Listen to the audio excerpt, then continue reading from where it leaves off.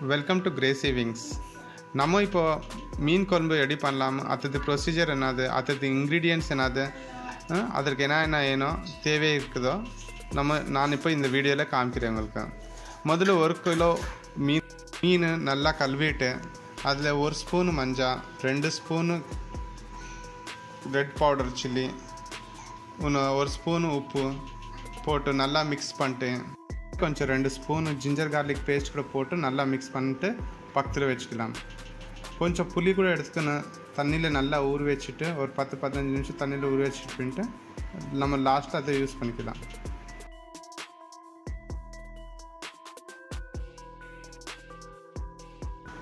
நம்மளுக்கு first ingredient items தனியா ஜீரா மூணு காஞ்ச மிளகா. இது கடாயில் போட்டு நல்லா ஃப்ரை பண்ணோம் ப்ரௌனிஷ் கலர் ஆகிற மட்டும் ஃப்ரை பண்ணோம் பாருங்கள் ஃப்ரெண்ட்ஸ் நல்லா ஃப்ளேவர் வருது ப்ரௌனிஷ் கலர் ஆகிற ஆகிற ஆகிற நல்லா ஃப்ளேவரும் வருது இப்போ இது ஃப்ரை ஆகிட்டுச்சு பக்கத்தில் கிண்ணத்தில் போட்டுக்கணும் நம்ம இதை கூலிங் ஆகிற மட்டும் வச்சுட்டு அப்புறமா இதை நம்ம மிக்சியில் பவுடர் பண்ணிக்கலாம்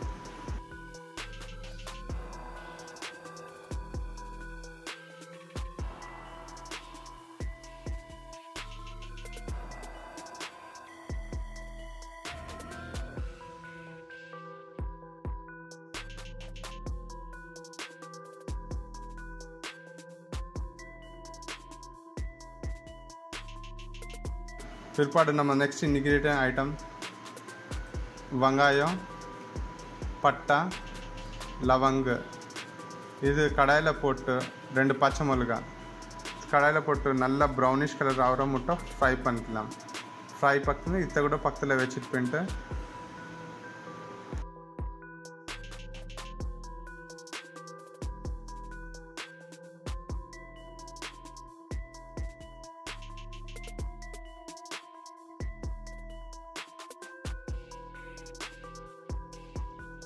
ఫ్రెండ్స్ நம்ம அஹ், ரெண்டு டமாட்டா ரெண்டு க- பச்சை மிளகா கொத்தமீர் கறிவேப்பாக்கு கூட கட் பண்ணி நம்ம ரெடியாக வச்சுக்கலாம்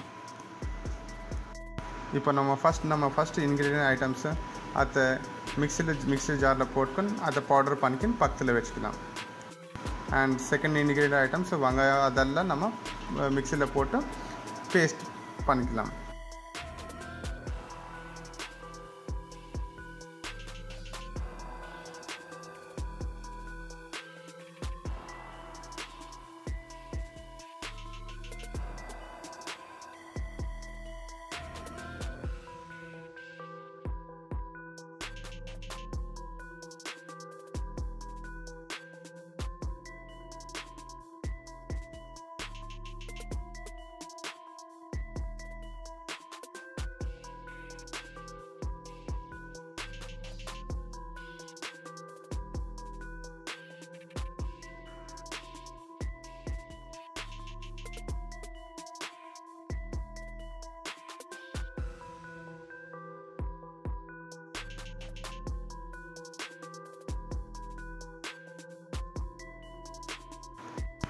இப்போ நம்ம நம்ம ப்ரொசீஜர் பார்க்கலாம். இப்போ நம்ம ப்ரொசீஜர் பார்க்கலாம்.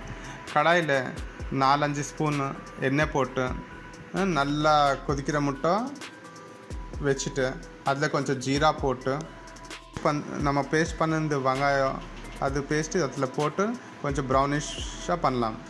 ப்ரௌனிஷ் பண்ணிட்டு பிற்பாட்டு அதில் நம்ம அடுத்து வச்சு இந்த பச்சை மிளகா கறியாப்பாக்கு போட்டு அதை கூட நம்ம ஃப்ரை பண்ணிக்கலாம்.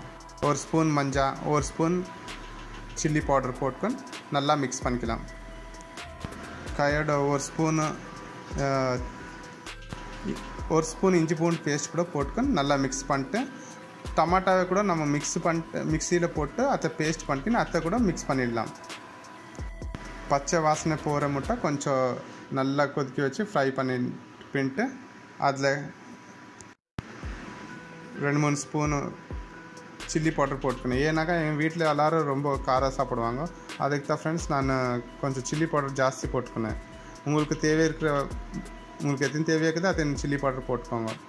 நல்லா மிக்ஸ் பண்ணிட்டு பின்ட்டு அதில் இப்போது ஃபிஷ்ஷு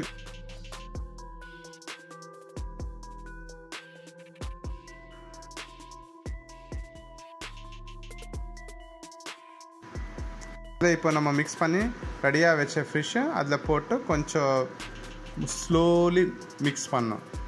ஏன்னா ஃப்ரெண்ட்ஸ் அது மீன் ரொம்ப டெலிகேட்டாக அது ஈஸிலி ஒஞ்சிடும்.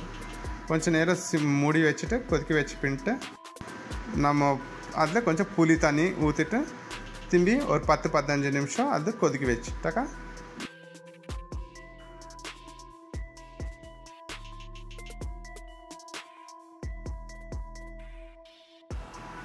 பத்து நிமிஷம் அப்படி கொதிக்க வச்சுட்டு அதில் இன்னும் ஒரு ஸ்பூன் ரெண்டு ஸ்பூனு உப்பு போட்டுக்கணும். எத்தின் தேவைக்குதோ அத்தின் உப்பு போட்டுக்கணும். இன்னும் நான் ஃபஸ்ட் இன்க்ரீடியண்ட் கொஞ்சம் பவுடர் பண்ணி வச்சிருந்தேன் அது போட்டு நல்லா மிக்ஸ் கொஞ்சம் ஸ்லோலியாக மிக்ஸ் பண்ணிட்டு இன்னும் ஒரு அஞ்சு பத்து நிமிஷம் அதை கொதிக்க வைக்கலாம்.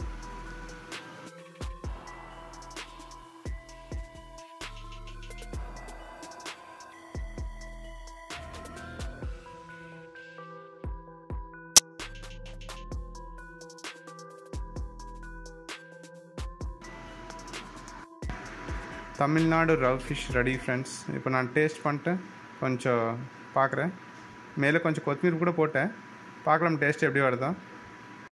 நீங்கள் கூட இது வீட்டில் ட்ரை பண்ணுங்க.